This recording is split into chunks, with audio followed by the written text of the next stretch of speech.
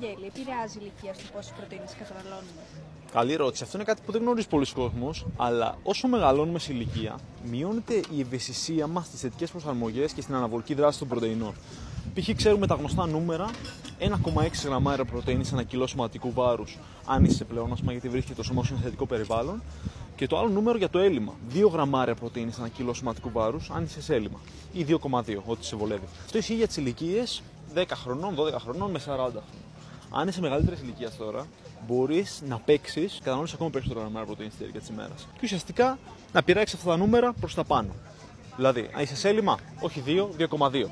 Όχι 2,2 αν είσαι 50 με 60, 2,4. Όχι 2,4 αν είσαι 60 με 70, 2,6 και το καθεξής. Οφείλουμε να πούμε για όλους. Όλοι ασκούνται, όλοι πρέπει βασικά να τρώνε περισσότερες πρωτενε, γιατί μετά πάσει και από σαρκοπενία. Θέλεις να διατηρήσεις περισσότερη μυϊκή μάζα όσο μεγαλώνει η ηλικία σου, γιατί αλλιώς κινδυνεύεις για πολλά πράγματα και λες παθήσει. Τέλος πάντων, αυτά.